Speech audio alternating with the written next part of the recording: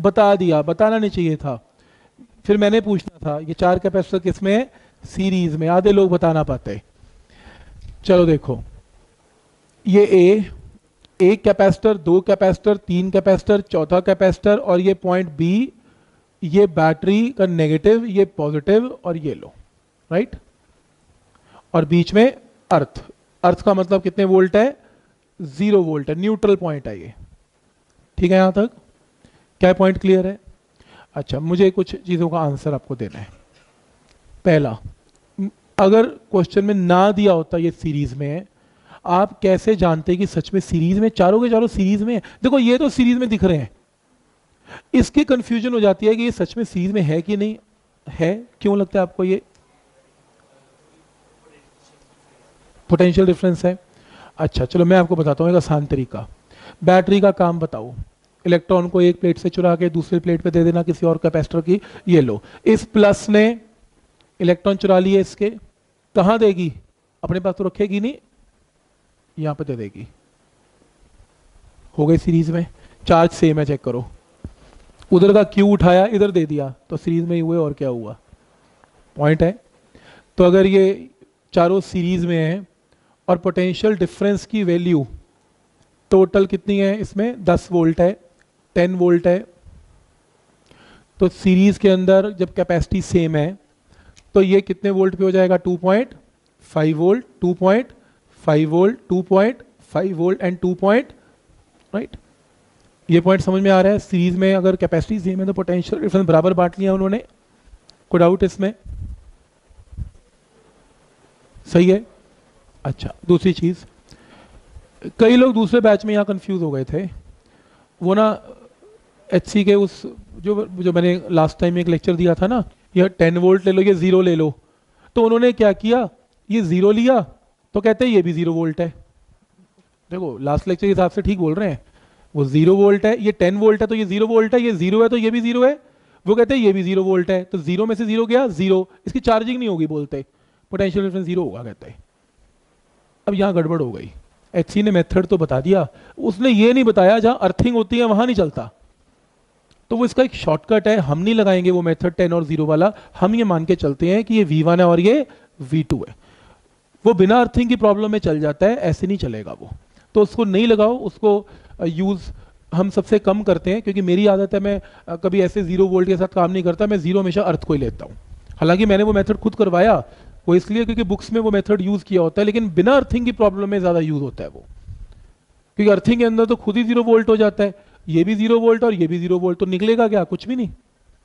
Point समझ में आ रहा है? तो हम वो वाला मेथड यूज़ नहीं करेंगे, मैं पहले ही क्लियर कर रहा हूँ। हम एक बड़ा सिंपल मेथड यूज़ करेंगे। हमें नहीं पता यहाँ कितना वोल्ट है। हमें ये निकालना है। तो मान लो यहाँ पर कितने वोल्ट है? वी भी। हाँ ये ज़रूर बात है कि बी पॉइंट ध्यान आगे देखो, शिवम। बी पॉइंट किससे कनेक्टेड है? नेगेटिव से। तो एक बात तो पक्की है वीबी का आंसर आएगा किसमें? माइनस में। तो जो ऑप्शन में पॉजिटिव जहाँ वीबी पॉजिटिव है, वो तो हटा ही दो, वो तो आएगा ही नहीं। पॉइंट समझ में आया क्योंकि वो किसके कनेक्टेड है? माइनस के साथ है। राइट ये वाला कितने वोल्ट पे है? एन पॉइंट ज़ीरो पे। ज़ीरो बड़ा है कि माइनस वाला पोटेंशियल बड़ा है? ज़ीरो बड़ा है। Zero is greater than negative value तो V N minus V B की वैल्यू क्या आएगी? 2.5 वोल्ट वी एन और वीबी वी एन बड़ा होगा वीबी छोटा होगा भी आपने बताया। लेकिन इनका डिफरेंस होगा कितना? 2.5 वोल्ट लेकिन न्यूट्रल पॉइंट कितने वोल्ट पे होते हैं? ज़ीरो तो वीबी कितने वोल्ट पे होगा? माइनस एक आंसर आ गया minus two point five point समझ में आया? कैसे पकड़ा हमने माइनस टू पॉइंट फाइव कैसे डिवाइड किया? जब कैपेसिटी सेम होती है अच्छा इक्वलेंट कैपेसिटेंस निकाल लो, चलो। निकाल लिया? जो भी होगा। इक्वलेंट कैपेसिटेंस निकाल के बैटरी का वी पता है चार्ज निकाल लो, सब पे चार्ज सेम होगा।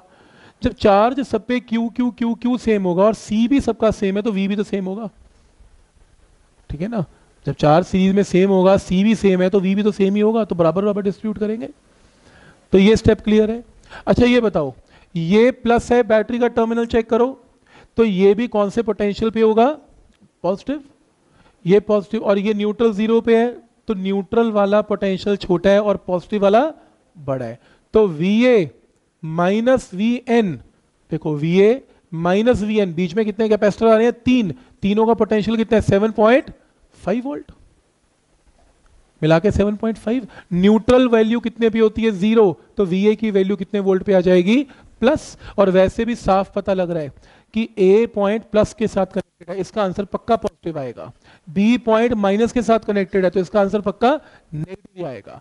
वैसी ऑप्शन एलिमिनेट हो जाती है, ना भी आता हो तो। आदि तो ऑप्शन एलिमिनेट ही हो जाती, हो जाएगी मेरे ख्याल से इसमें। बट पॉइंट समझ में आ रहा है? बढ़िया क्वेश्चन है ये भी। पॉइंट समझ में आ रहा है यहाँ तक? ठीक है क्लोज करें assignment subjective sheet number eleven eleven